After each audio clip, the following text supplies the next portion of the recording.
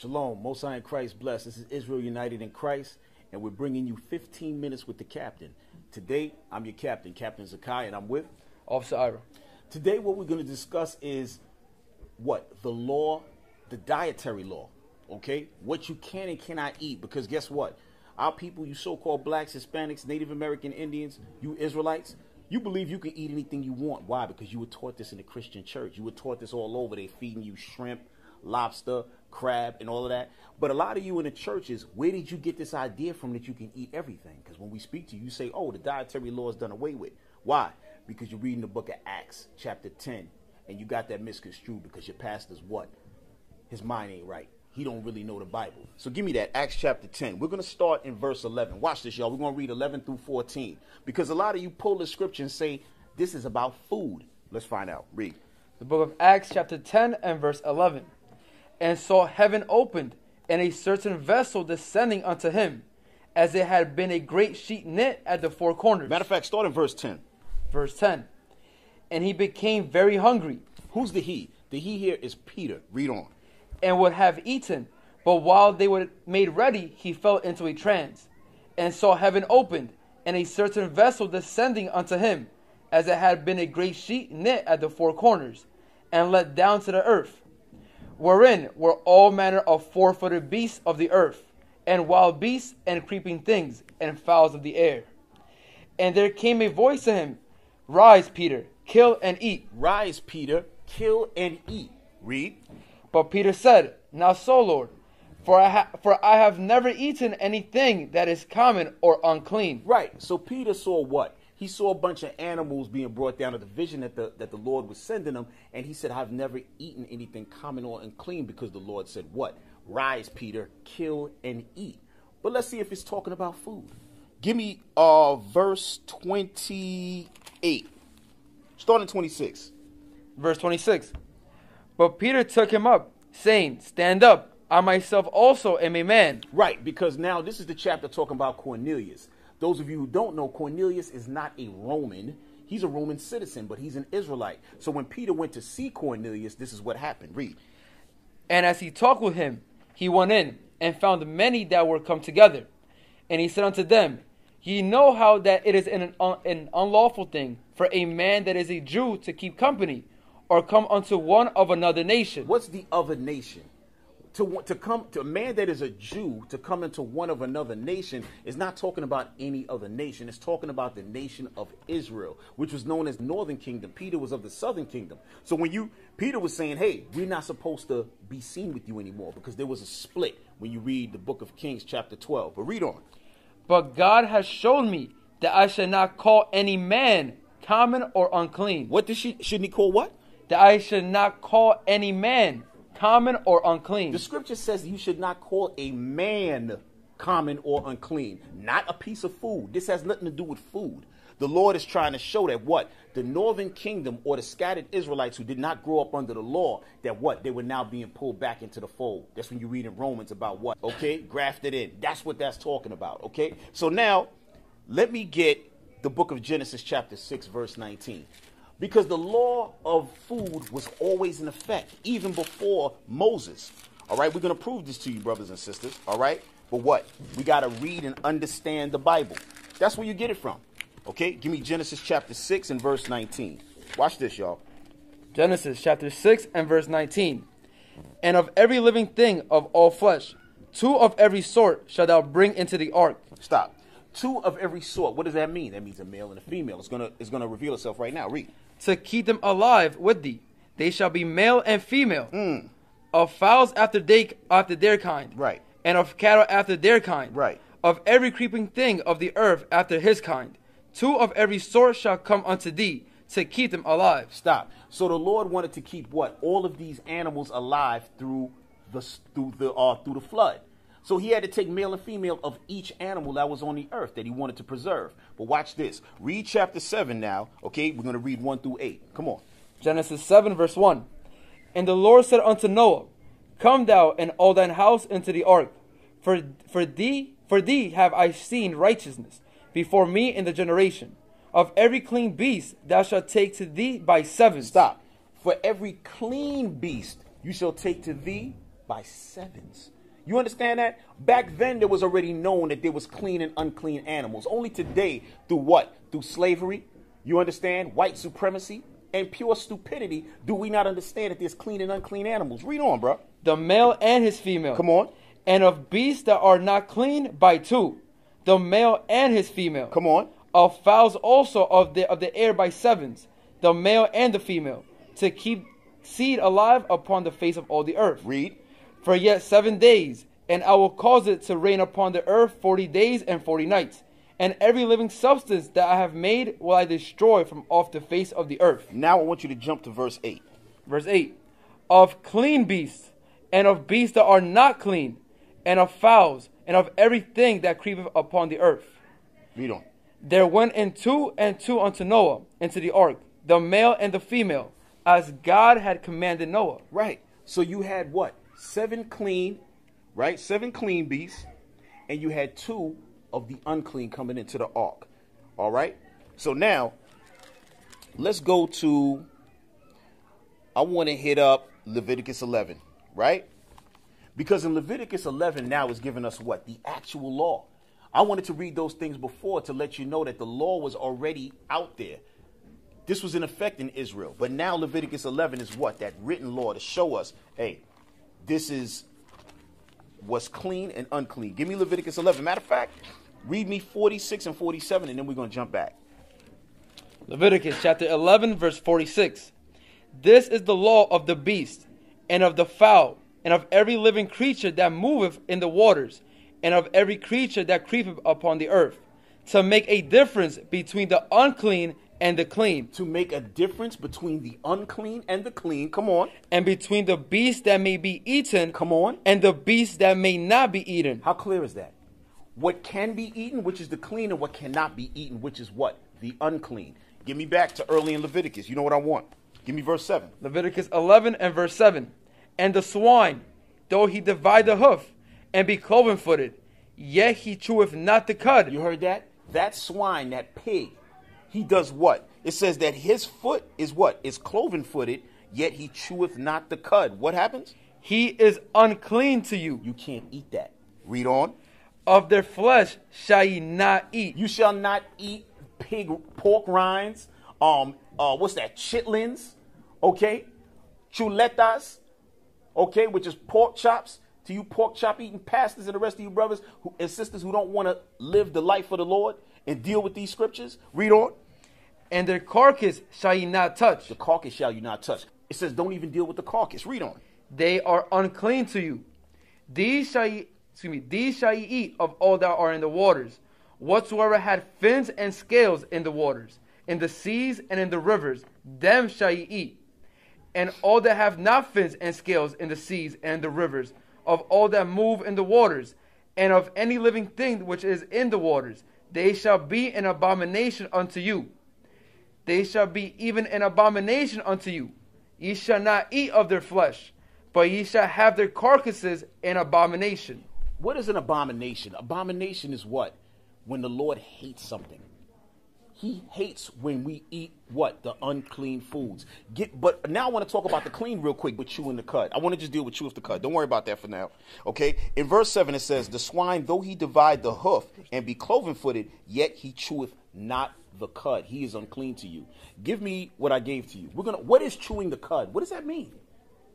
That's the problem, brothers and sisters. We don't have an understanding on what words mean or what terms mean.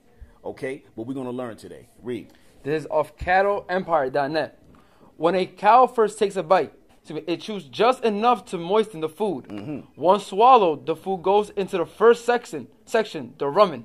See that? There's one section of the cow's in- uh, intestines or stomach called the rumen. What happens at that point? Where it mixes with the other acid digestive liquids mm. and is softened. The softened food is called cud. The softened food is called cud, meaning what? It's regurgitated back to the cow's mouth. He starts to chew again. Read. Small balls of food. Next, the rumen muscle sends the cud back up to the cow's mouth, mm-hmm. where it is re- rechewed and swallowed again. Come on, where does it go? This time going into the omo- Right, the emulsums, which is the second uh, compartment of the cow's stomach, and does what? it goes through its digestive system, right? Or, or uh, what's the word I'm looking for? Digestive system, and then what goes back up to the mouth and is chewed again. Come on. This time going onto the omasum section of the stomach in order to squeeze out all the moisture. Hmm. Finally, the food enters the last part, obusimus, of the Obusimus. I'm sorry to cut you. Obusimus, right? Where the process continues, the digestive process continues. Read on. Of the stomach, where it mixes with digestive juices and makes its way to the intestine to be completely di- digested. You see that? That's called chewing the cud. What are we talking about? A filtration system, which the pig doesn't have. So all animals that have this filtration system, meaning chewing the cud for short, guess what? These are the animals that are clean. Okay? And of the and of the fishes, uh ones with uh scales and fins, that's the filtration system. So a lot of us like to eat shark, we want to eat uh catfish, crab, lobster. These are these are animals that clean the sea. Okay, oysters and all that stuff. That's not to be eaten, brothers and sisters. I know when we go out, we, we say, "Hey, let's go to a, uh seafood restaurant because we think that's the uh, the delicacy." But no, these delicacies are actually against the Lord's uh, commandments. Give me Deuteronomy 14. Let me show you something. We're gonna stay on this. Okay, what are we talking about? The dietary law that y'all brothers and sisters think is done away with. You so-called you Israelites, you so-called blacks, Hispanics, Native American Indians, you must learn this. You must learn these laws and live by them. That's how you get the kingdom. That's how you're saved. You, you know what I went out of 14, brother? So verse 3. Yeah. The book of Deuteronomy 14 and verse 3. Thou shalt not eat any abominable thing. Come on. These are the beasts which ye shall eat These are the beasts which you shall eat. Come on. the ox, Oxtails. You love them. I love them. Read. the sheep, Come on. and the goat, Yes. the hart, and the roebuck, and the fallow deer, and the wild goat, and the pygarg, and the wild ox, and the and the chamois, and every beast that parteth the hoof, and cleaveth the hoof into two claws, and cheweth the Cleaveth cud, the cliff into two claws. It's all right. Read on. and cheweth the cud among the beasts.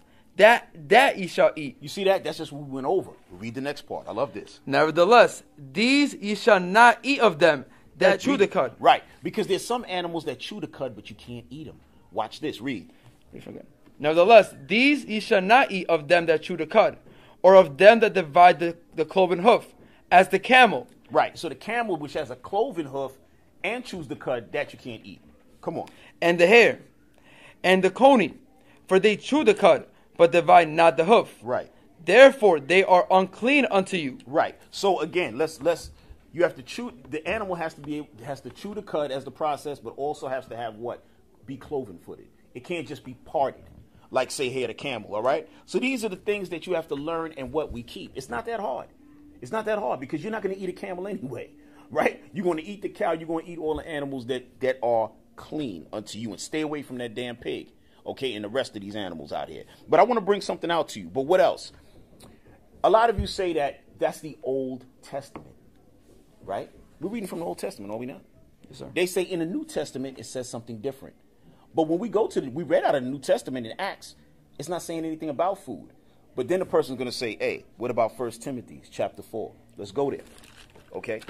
Let's go there to First Timothy chapter 4. We're going to deal with this.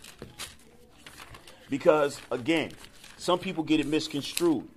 They read these they read these chapters and they say, hey, obviously it's saying that we can eat anything that we want. Why? Because they're following after their lust. They want to eat the pig. They like pig, pork, bacon, and all of this garbage. But according to the book of the Most High in Christ, you do not eat this. And watch this. Read. First Timothy chapter 4 and verse 1.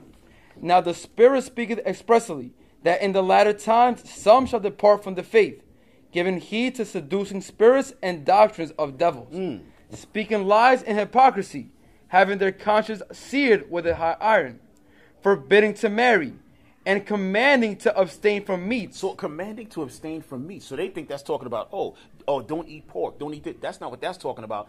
This abstaining from meats is talking about you Catholic priests talking about don't eat meat on a Friday during the uh, the Lent season because we got to eat fish. That's that's that ain't got nothing to do with the Most High's laws. Read on. which God had created to be received with thanksgiving of them which believe and know the truth. and know the truth. What is the truth, brother? You see, we have to teach this Bible precept upon precept. The scriptures say, God hath created to be uh, to abstain from meats which God hath created to be received with thanksgiving of them which believe and know the truth. Not that you just give thanks over, oh, there's a piece of pork. Lord, please clean it that I can eat it. No, that's not what this is talking about. Read. Give me the truth. What does the truth mean? Psalms 119 and verse 142.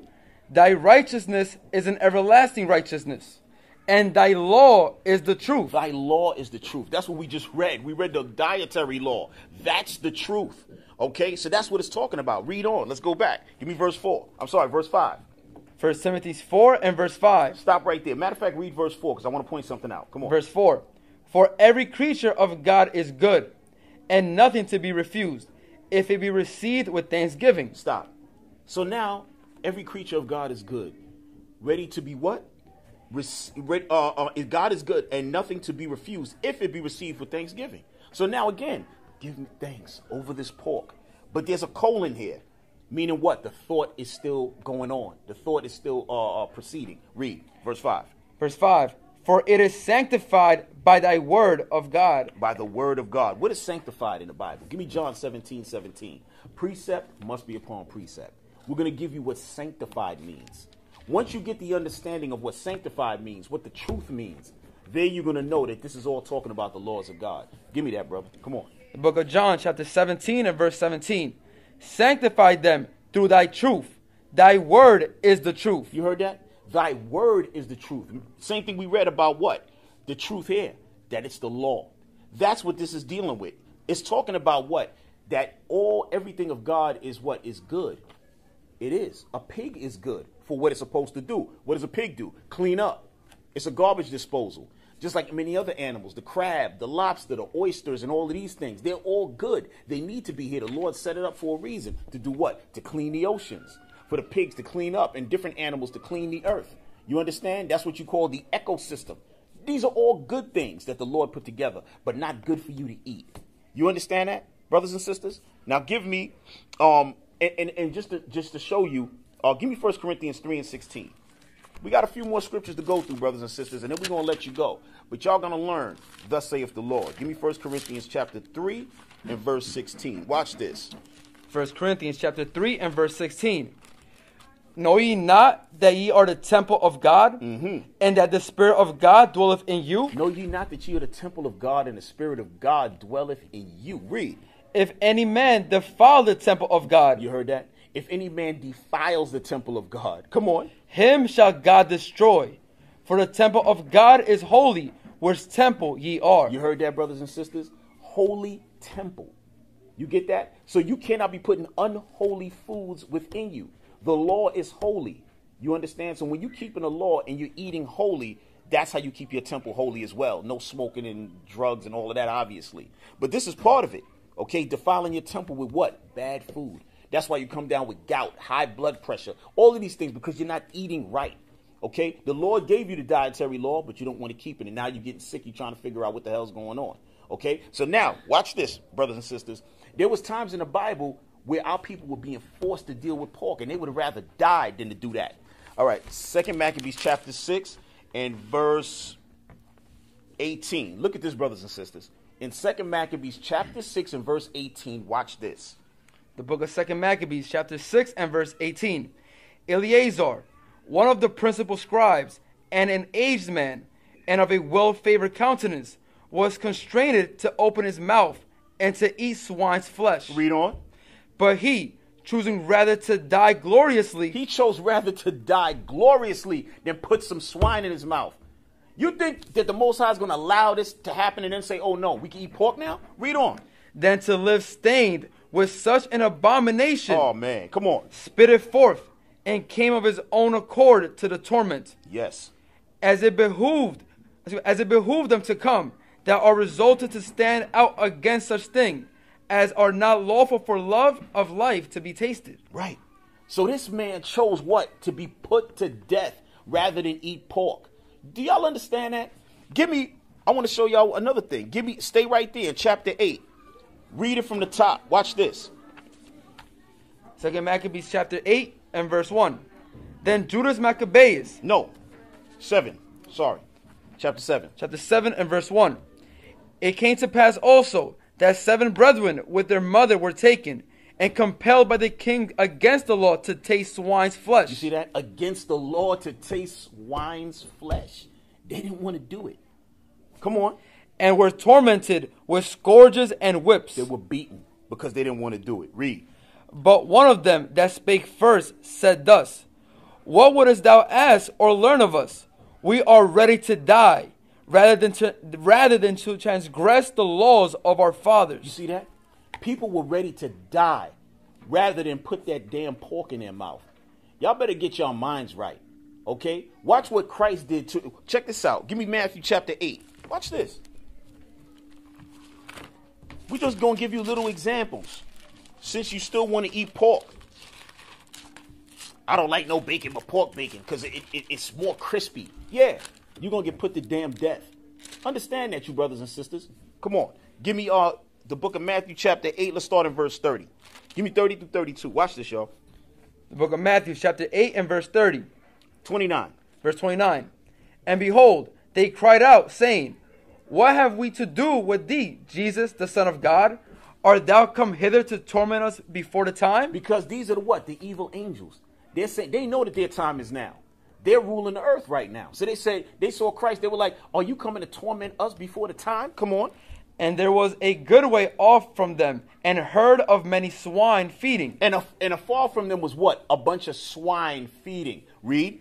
So the devils besought him, saying, If thou cast us out, suffering us to go away into the herd of swine. So they wanted to what? They wanted their spirits to be put into the herd of swine because they knew that Israel what? That was a dirty, unclean meat to eat. So they said, "Put our spirits in the swine." Read on.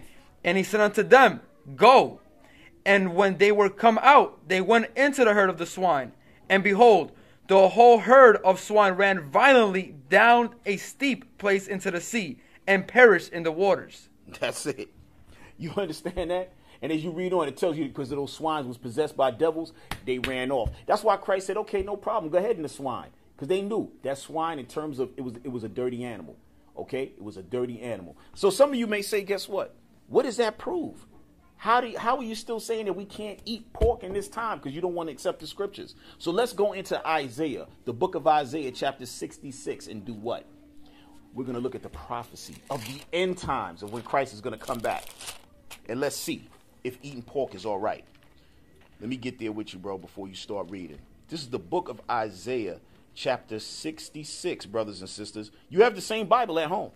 The same Bible that you got laying up on um on grandma's uh, um, um dresser. It's all dusty up on your underneath your bed, and you have it on your car. What- They got it on the dashboard in the car with the dust all over it, thinking that that's going to keep you safe when you're driving around. You better learn that thing. The Lord said, "What? Study to show yourself approved before God." You understand that? So what? We got Isaiah chapter 66. Give me verse 17. Watch this. The book of Isaiah, chapter 66, and verse 17. Start in 15 and read through 17. I'm sorry. Verse 15 For behold, the Lord will come with fire, and with his chariots like a whirlwind, to render his anger with fury, and his rebuke with flames of fire. See that? That's the day of the Lord when Christ is coming back.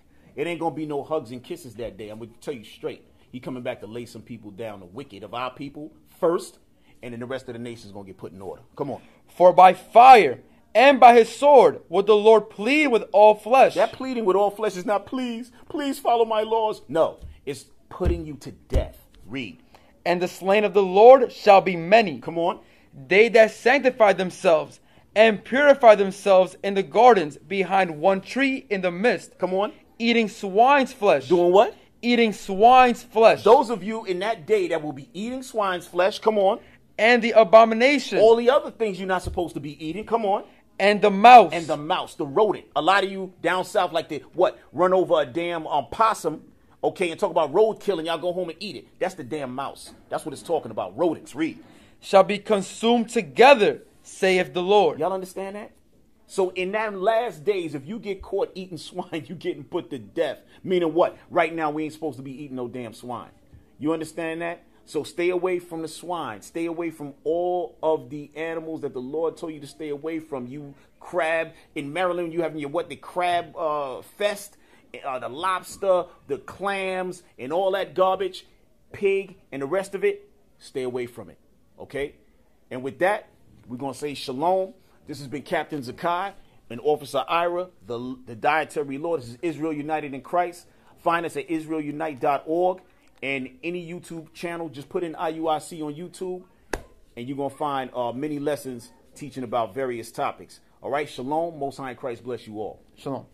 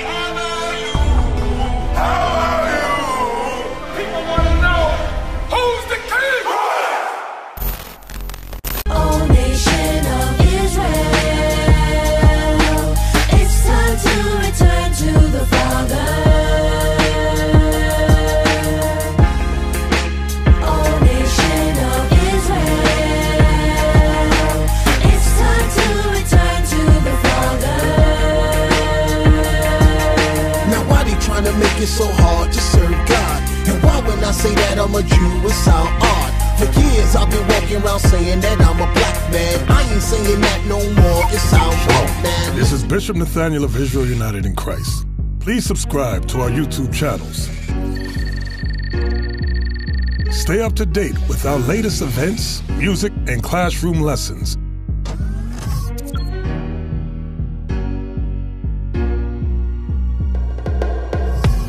IUIC plans to continue visiting different countries where this gospel has not been preached before. IUIC needs your help in pushing this truth.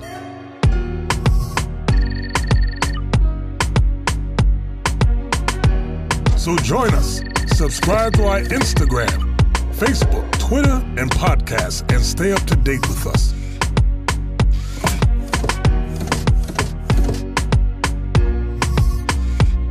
For more information, please visit www.israelunite.org.